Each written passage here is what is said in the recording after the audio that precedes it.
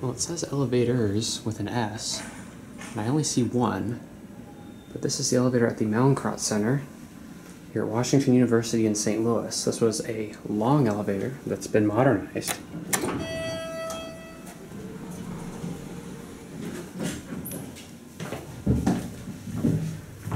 Three.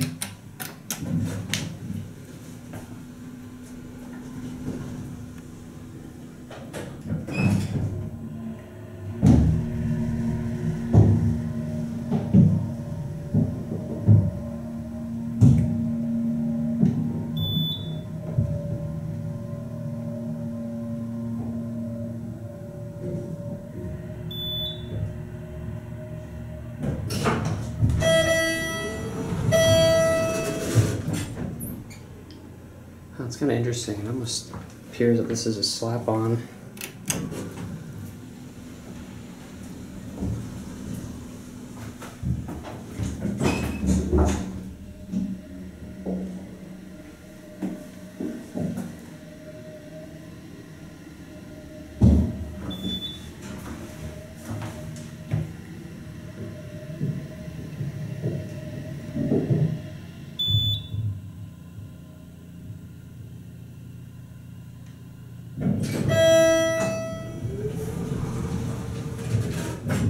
It also appears that the elevator moves up and down at the same time.